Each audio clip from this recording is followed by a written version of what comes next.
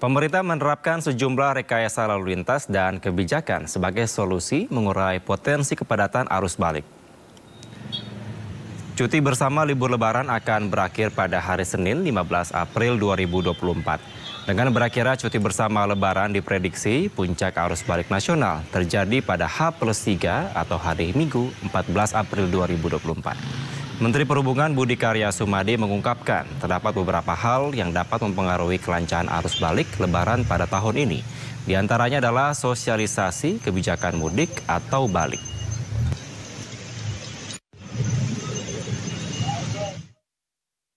Prediksi puncak arus balik nasional diperkirakan akan terjadi pada H plus 3 atau hari Minggu 14 April 2024. Diprediksi akan ada sebanyak 41 juta orang atau sekitar 21,16 persen yang akan kembali dari mudik.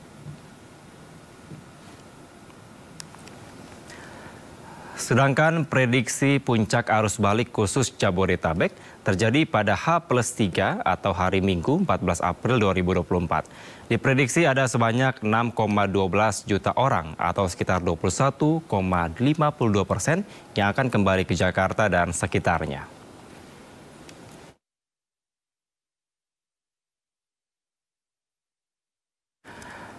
Pemerintah telah menetapkan tugas kedinasan dari rumah atau work from home bagi sebagian aparatur sipil negara pada tanggal 16 hingga 17 April 2024. Kebijakan ini tertuang dalam surat edaran Menteri PAN RB nomor 1 tahun 2024. Hal ini dilakukan untuk mencegah dampak buruk akibat kepadatan lalu lintas saat arus balik lebaran.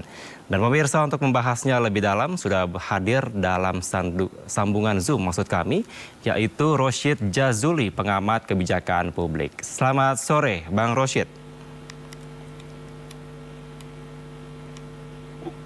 Selamat sore Mas Kevin. Baik, uh, suara saya dengar jelas ya, terdengar jelas ya Bang Rosid ya? Terdengar jelas, terdengar jelas. Suara Baik. saya terdengar jelas ya? Jelas, jelas, jelas. Baik, uh, ya. Bang Rosid ini terkait dengan kebijakan yang dikeluarkan oleh pemerintah dan juga ini merupakan tadi disampaikan oleh Menteri Perhubungan, ini merupakan hak prerogatif dari Presiden. Apakah memang untuk WFA pada tanggal 16 dan 17 April besok ini dapat efektif untuk mengurai kemacetan arus balik lebaran? Terima kasih Mas Kevin. Ya. Ini tentu kebijakan WFA ini bukan kebijakan yang baru ya. Kita ya. sudah mengalaminya era COVID waktu itu. Nah, namun kita harus lebih jeli melihatnya. Kenapa? Karena tentunya kita tahu ASN itu dibanding dengan jumlah angkatan kerja kita jumlahnya tidak kita ASN kita 4 juta misalnya angkatan kerja kita lebih dari 100 juta sehingga ini harus menjadi catatan ketika kebijakan ini dikeluarkan. Namun harus diakui bahwa ini tentu akan bisa berdampak artinya uh, eh, ASN yang sebelumnya sudah akan mudik mereka bisa menahan diri. Jadi itu Mas Kevin. Jadi pasti berdampak. Namun apakah ini berdampak signifikan ini perlu kita tunggu ya. Saya pikir itu. Oke, okay, ya, kalau dilihat ini total-total dari libur lebaran kemudian cuti bersama nih hampir uh, 10 hari ya nampaknya uh, Mas atau Bang Roshid.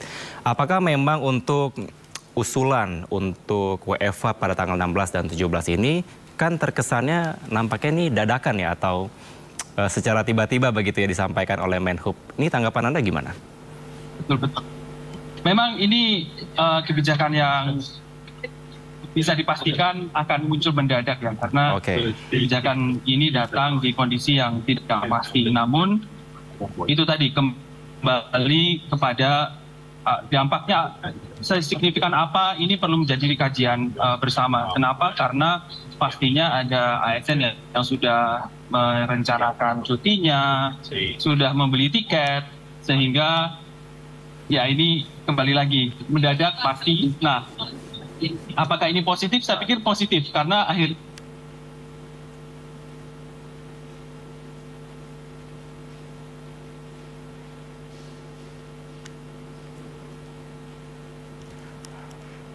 Polri semuanya membantu. Namun akan mendadak itu antisipasinya sangat sulit Baik. bagi mereka yang terdampak. Baik, Bang Roshid mungkin Kira -kira bisa diulangin kembali. Tadi nampaknya sinyalnya agak kurang bagus. Bisa diulangin kembali, Bang Roshid? Oh siap, mohon maaf. Ya. Yeah. Uh, jadi kebijakan ini pasti uh, sudah pasti mendadak. Okay. Uh, kita semua tahu itu. Namun uh, ini menjadi perhatian bersama karena pasti ASN sudah memiliki rencana, mereka cutinya sudah direncanakan, terus tiket juga sudah dibeli sehingga ini menjadi catatan tentang signifikansi atau dampak yang efektif dari kebijakan ini. Namun demikian kan perlu kita apresiasi ya karena dalam konteks kebijakan pembuatan kebijakan ada kebijakan itu sering kali lebih bagus daripada tidak ada kebijakan sehingga oh, okay. ya kita tentu harus apresiasi pemerintah, TNI Polri dan lain-lain. Yeah. Baik, Mas Roshid ini menarik. Tadi Anda mengatakan ada sekitar 4 juta ASN tidak sebanding dengan uh, pekerja secara umumnya.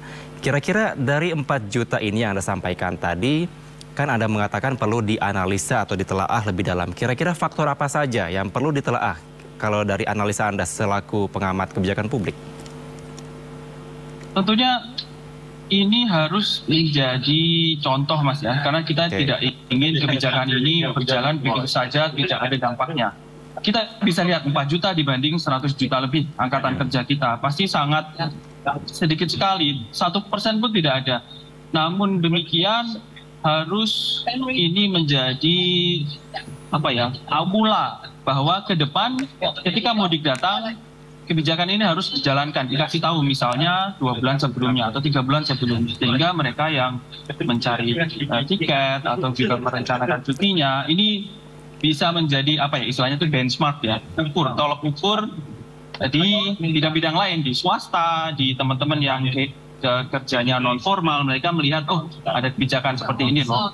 Sehingga ke depan mudik itu bisa lebih tertata mas Oke, lebih tertata dan juga mungkin sebagai uh, evaluasi buat ke depannya mungkin bisa diperpanjang atau diperlebar begitu ya, tidak hanya ASN nampaknya tapi pekerja swasta juga nampaknya ya Mas ya. Baik, selanjutnya. Harus, karena kan yang mudik bukan hanya PNS ya. ah, ya. Iya, tidak hanya ASN ya. aja tapi pekerja swasta juga mudik juga semuanya Pasti. sama. Oke, Pasti. ini kan baik uh, Mas atau Bang Rosyid ini tidak semua ASN diberikan kesempatan untuk WFA oh, iya. 100% terutama bagi mereka yang berada di bidang-bidang yang berhubungan dengan pelayanan publik seperti bidang kesehatan, transportasi dan lain sebagainya. Hanya 50% untuk ASN yang di bidang administrasi ataupun protokoler yang diberikan kesempatan untuk WFA. Nampaknya ini semakin mengurangi efektivitas dari uh, mengurai dari kemacetan arus balik nampaknya nih.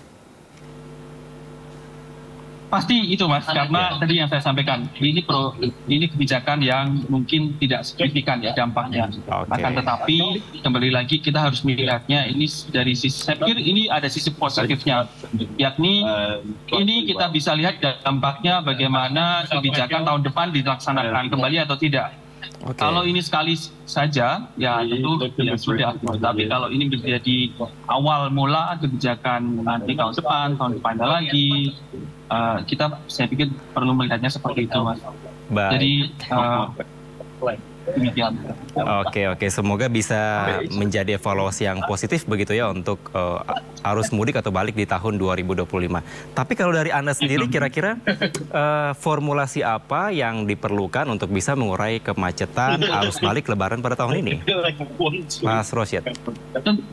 Untuk tahun ini saya pikir ini sudah boleh dikatakan uh, terlambat ya kalau kita mau merumuskan kebijakan. Tapi okay. uh, saya pikir kita harus memberikan support yang penuh terhadap eh, mereka-mereka uh, yang bekerja di lapangan, misalnya TNI Polri, teman-teman uh, dari Dishub itu untuk bisa mendapatkan support baik itu moral maupun material karena di jalan kondisinya sangat misalnya uh, kompleks. Sehingga untuk saat ini kita hanya bisa menghimbau sih untuk baik pemudik itu harus hati-hati harus sabar baik bagi yang mereka bertugas ya tentu juga harus ekstra lebih sabar. Hmm, oke okay, oke. Okay. Himbauan himbauan sekarang itu, itu Mas. Oke okay, oke. Okay. Himbauan himbauan pasti diberikan. Sudah ada kontraflow, sudah ada sistem satu arah atau one way dan juga ada uh, kebijakan WFA bagi ASN. Kira-kira apa lagi kalau dari analisa Anda yang konkret untuk bisa mengurai uh, arus balik Lebaran 2024? Saya pikir untuk yang konkret ini sudah bagus Mas, ini tinggal terus dijalankan okay. sehingga nanti bisa kembali normal. Namun dalam jangka pendek ya kita perlu melihat kembali uh, migrasi pekerja karena saya kita belum melihat data yang bagus terkait pekerja itu migrasinya ke mana. Kita bisa mengira-ngira semuanya ke Jakarta, tapi kan itu kira-kira yang kurang bagus ya. Semua orang ke Jakarta, semua orang ke Jakarta. Nah, ini perlu dimonitor sehingga kita punya analisis misalnya ke depan untuk jangka panjang kita menciptakan pusat-pusat ekonomi baru yang tidak di Jakarta saja. Jadi orang jadinya tidak semuanya mudik massal ya. Kira-kira oh. itu, Mas. Baik, baik. Terima kasih. Semoga juga mungkin di tahun 2025 tidak hanya ASN tapi juga pekerja swasta ya Mas Edi perlu di-highlight nampaknya itu agar semua bisa lebih efektif, dan juga efisien. Terima kasih ya, pengamat kebijakan publik karena waktu kita terbatas. Roshid Jazuli telah bergabung bersama kami di Sindo Sore. Selamat sore dan jaga kesehatan selalu, Mas Roshid. Terima, Terima kasih banyak, Mas Kevin. Sama-sama.